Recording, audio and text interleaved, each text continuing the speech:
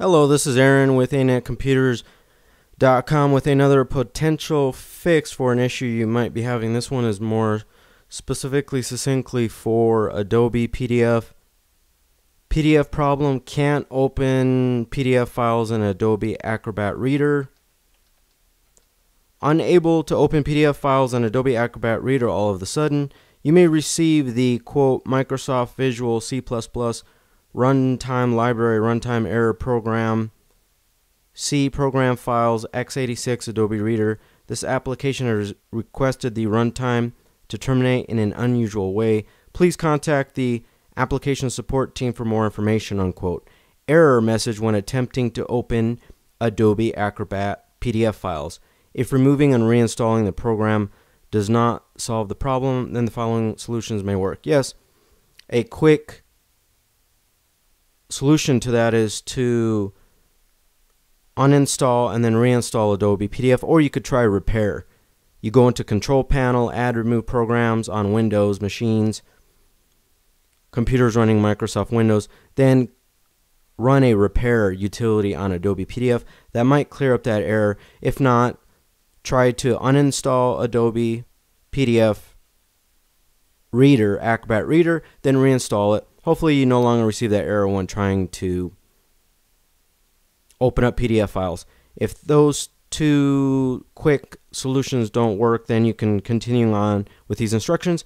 And then in the description of this YouTube video, I will put the web link to this blog post where it has more specific instructions for you. So step one would be one of the easiest solutions is to go into the properties of the Acro rd32.exe executable by right clicking on the acro rd32.exe executable and then selecting quote run this program in compatibility mode for Windows XP Service Pack 2 unquote. You may also have to do this on the acrobat.exe executable as well. You would want to go into C program files and then Adobe Acrobat folder could be x86, or you could do a quick search. Search for those exact file names. Acro, A-C-R-O, rd32.exe, as well as acrobat, A-C-R-O-B-A-T.exe,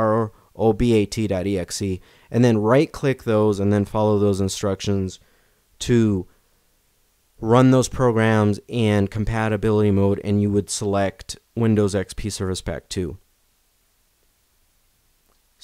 part two or number two. Another solution, if the previous one doesn't work, is to try to right clicking the executables again, only this time select run as administrator. Then proceed with the first set of instructions. So yes, it may not work just by setting them in compatibility mode on Windows 8, Windows 7, etc. What you do is you just downgrade. If your Acrobat doesn't work and a reader doesn't work on Windows 7, you just change compatibility mode and choose the most previous version. You could even select Windows Vista or Windows XP Service Pack 3 or Windows XP Service Pack 2 until the program finally works correctly. That might be a quicker solution for you. It might be important, it might be an emergency, you might really need to access those PDF files. You do not have another computer, you're on a deadline.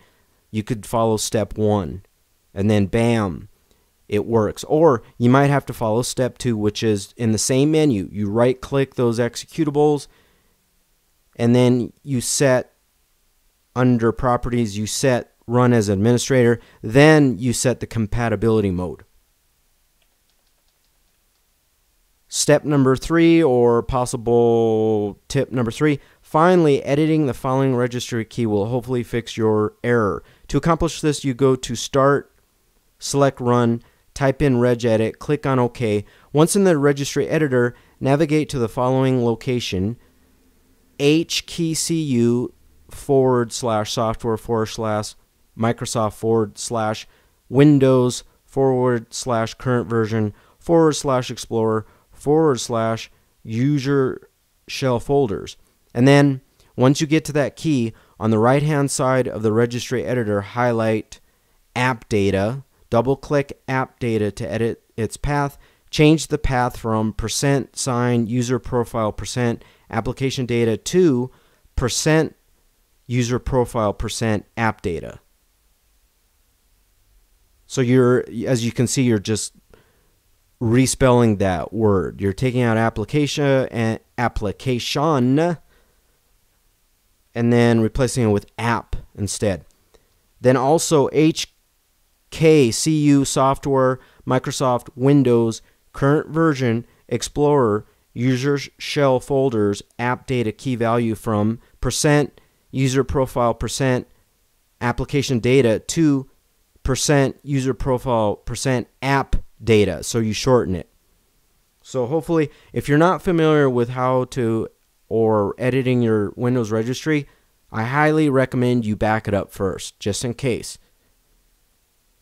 And then also with the registry editor, it's verbatim, so you really want to make sure that you change the registry key to exactly the way it's stipulated here. Or if you're not familiar with editing the Windows registry, I recommend going out on Google and finding some tutorials. There's no doubt there's blog posts and articles and other YouTube videos that will specifically just show you how to edit the registry successfully and without causing further problems. Because what can happen is you might set a registry entry incorrect because it's it's it's case sensitive and you have to you know the spelling is important it might make that program no longer usable or you might end up changing settings you might have the wrong registry key and you change up settings and you can you know start meddling with programs that you do not want to so anyways hopefully th- these tips fix your possible problem where you are no longer able to open PDF files in Adobe Acrobat Reader. If these tips don't work, then I would recommend you just uninstall Adobe Acrobat Reader and then look for a file cleaning program like CC Cleaner, which I talked about on my previous video. You would run a registry session, clean out the registry, clean out your temporary files and folders, then go in back and reinstall Adobe Acrobat Reader, and then it might work like it did before. Anyways, you can always browse to anetcomputers.com for more possible potential fixes to your most common computer problems. Thank you for listening.